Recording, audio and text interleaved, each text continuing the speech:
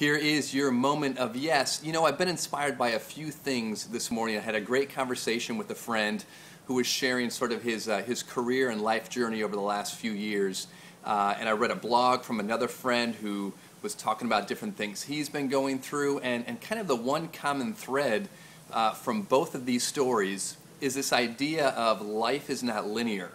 How we, we tend to do our human thinking and human planning and we love to think that everything goes one step to the next and it's this linear track and everything flows in the right direction and it feels right and it makes sense and it's logical.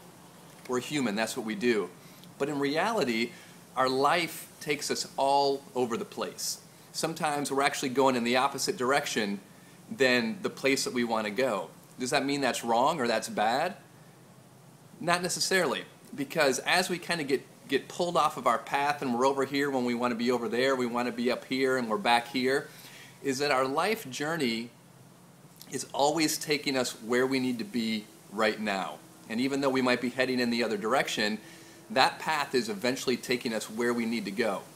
When we're not attached to the outcome, we can never make a mistake.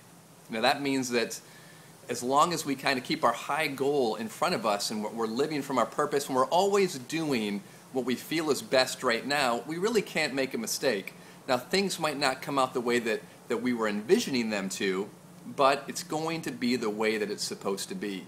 And ultimately, if we're doing our best and we're living from our highest sense of right, we're always going to be right where we need to be, and we're going to find a lot of joy and peace in our life.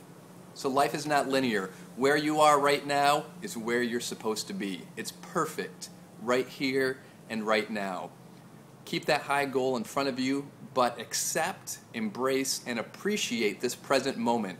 It's ripe with learning. Have a wonderful day. That's your moment of yes.